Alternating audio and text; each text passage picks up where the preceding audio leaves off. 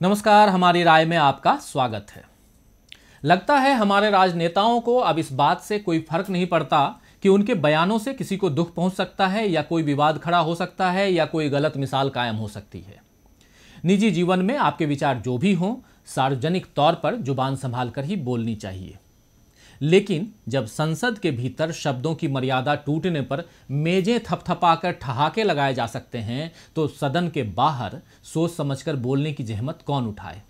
ये बात इसलिए क्योंकि हाल ही में जिम्मेदार पदों पर बैठे तीन ऐसे लोगों के बयान आए हैं जो उनकी पद की गरिमा के अनुकूल नहीं हैं।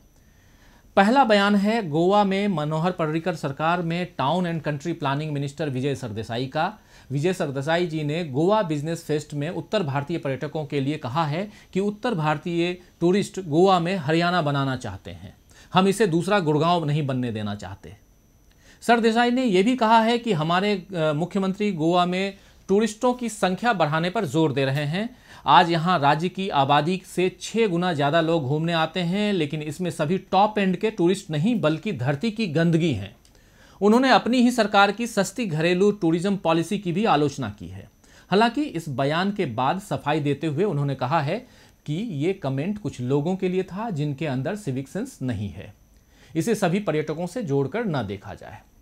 16 लाख की आबादी वाले गोवा में हर साल करीब पैंसठ लाख से ज़्यादा पर्यटक पहुँचते हैं। इन पर्यटकों के कारण राज्य की अर्थव्यवस्था को भी गति मिलती है। हालाँकि ये सही है कि गोवा के समुद्री तटों और दूसरे पर्यटन केंद्रों पर बढ़ती गंदगी एक बड़ी चिंता का विषय है, लेकिन इसके लिए उत्तर भारतीय पर्यटकों पर इस तरह की टिप्पणी नहीं की जा सकती।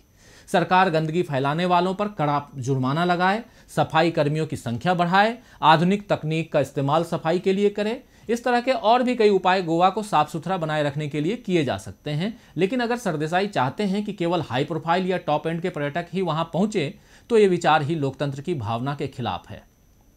अब सवाल ये उठता है, क्या, कि क्या इनके राज में अब बोलने, लिखने की तरह घूमने की आज़ादी पर भी पहरा लगेगा? दूसरा प्रसंग भी गोवा से ही है कि जहाँ के मुख्यमंत्री मनोहर पर्रिकर ने भी बीते दिनों एक विवादास्पद बयान दिया।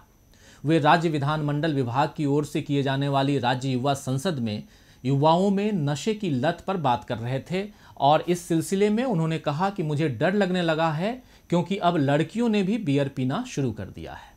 उनके इस बयान के बाद hash tag girls who drink beer अभियान सोशल मीडिया पर छिड़ गया है और बहुत सी लड़कियाँ बियर पीते हुए अपनी तस्वीरें डाल रही हैं, जबकि पर्रिकर के बचाव में भी कुछ लोग आए हैं और वे कह रहे हैं कि उन्होंने नशे के खिलाफ चिंता ज़ाहिर की थी, न कि लड़कियों के बियर पीने के खिलाफ। चलिए मान लिया कि पर्रिकर को नशे की आदत पर चिंता हो रही है, लेकिन ये चिंता तो लड़का लड़की दोनों के लिए होनी चाहिए ना?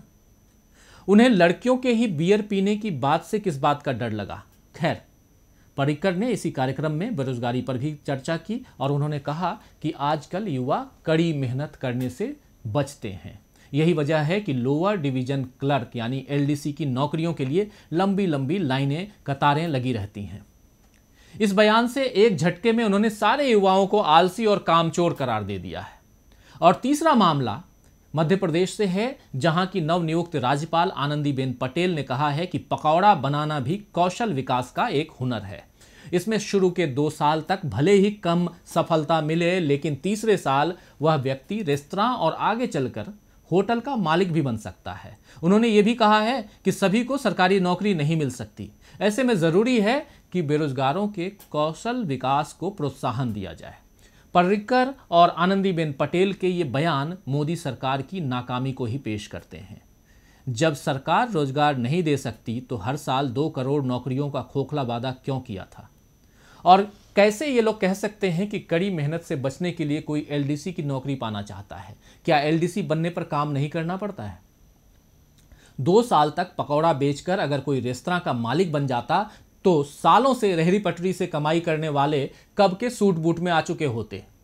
पकौड़ा बनाना कौशल विकास में आने लगा है तो सारे उच्च शिक्षण संस्थान सरकार बंद कर दे और चाय पकौड़ा निर्माण प्रशिक्षण केंद्र ही खोल दे। कम से कम इस देश का युवा सपने देखना तो बंद कर ही देगा और ये उनके सपने की मौत होने से तो बेहतर ही होगा। खैर, पंजाबी कवि और दार्शनिक पाश की एक कविता है जिसकी कुछ लाइनें इस प्रकार हैं। सबसे खतरनाक होता है मुर्दा शांति से भर जाना, तड़प का ना होना, सब कुछ सहन कर जाना, घर से निकलना काम पर और काम से लौटकर घर आना। सबसे खतरनाक होता है हमारे सपनों का मर जाना। जी हाँ सबसे खतरनाक होता है हमारे सपनों का मर जाना। तो आज के लिए बस इतना ही, देखते रहिए डीबी लाइव, नमस्कार।